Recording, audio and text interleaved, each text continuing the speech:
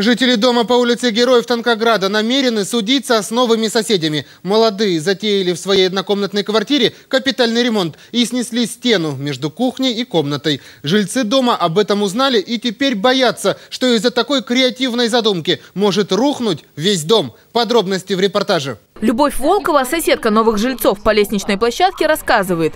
Сначала ее пугал ужасный шум от строительных работ в квартире рядом. А когда она узнала, что соседи сносят стену, просто не поверила. Да такого быть не может. Я просто не поверила. Я говорю, хорошо, я зайду, посмотрю.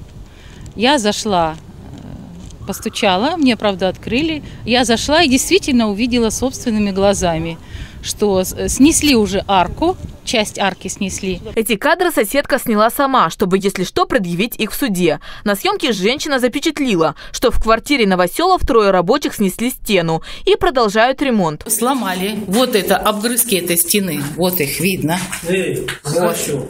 Дальше. Что Вот. вопросы, иди хозяин, Сейчас хорошо, я пойду. Теперь, по словам женщины, она боится находиться в своей квартире. Впрочем, ее опасения поддержали и остальные жители дома. Если они хотят это все перестраивать, пусть они покупают собственное жилье, отдельное стоящее жилье, ломают там на ушах, стоят все что угодно. Здесь, игнорируя других жителей, они ломают несущие стены. Я называю это преступление просто, все. Он, э, вот этот э, подъезд или дом, или часть этого, вот эти два подъезда могут сложиться просто от такого, то, что они ломают. Так нельзя. Помимо этого, новые жильцы переконструировали балкон и решили застеклить его по всей высоте. По мнению соседей, это может нарушить тепловой контур здания, и в других квартирах станет холоднее. Однако новоселы утверждают, ничьих прав они не нарушали, и все согласовали с ТСЖ. Кто прав, видимо, придется выяснять в суде. Татьяна Морозова, Дамир Яганшин, 31 канал.